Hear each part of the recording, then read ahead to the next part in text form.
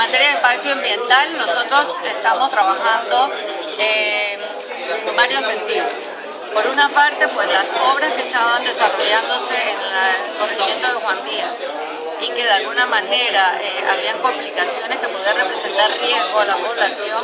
pues se ha desarrollado un operativo que se está implementando y cumpliendo, lleva como un 50% de avance en la mejora de todo el sistema de drenaje de las aguas pluviales y la conexión entre un proyecto y otro. Esto también eh,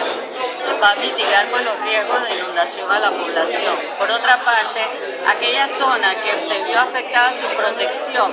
en materia de manglares por parte del, por eh, consecuencia del fallo de la Corte Suprema, nosotros tenemos suspendido cualquier tipo de intervención, pero lo más importante es que eh, establecimos una mesa de trabajo donde estuvieran representados todos los sectores y especialistas estuvimos revisando, la conclusión a la que ya se llegó es que esta zona, en lo que está, lo que corresponde a la bahía de Panamá, dentro de más o menos los parámetros de Juan también, de que ahí eso eh, se mantenga como una zona de reserva que no sea intervenida en, el futuro para eh, garantizar pues la preservación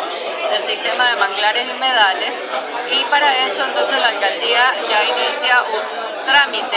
eh, que requiere la NAM, un protocolo que se tiene que llevar a cabo para solicitar formalmente que esta zona sea protegida. mientras eso se da, eh, no se permitirá ningún. Y hay otra área que está en discusión en la mesa, que es lo que se llama eh, zona verde urbana, que es discrecionalidad del Ministerio de Vivienda eh, guiarse o no por un plan metropolitano para eh, otorgar permiso. Ese tema está en discusión y en evaluación, a ver si logramos ponernos de acuerdo de eh, si se, realmente es conveniente el seguir desarrollando obras o es preferible, por el contrario, mantenerlo como una zona no desarrollable. Ese aspecto todavía está en discusión en la mesa. Hay uno que ya está acordado,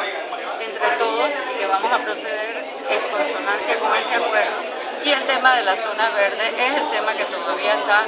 por eh, culminarse, pues estamos tratando de llegar a un consenso.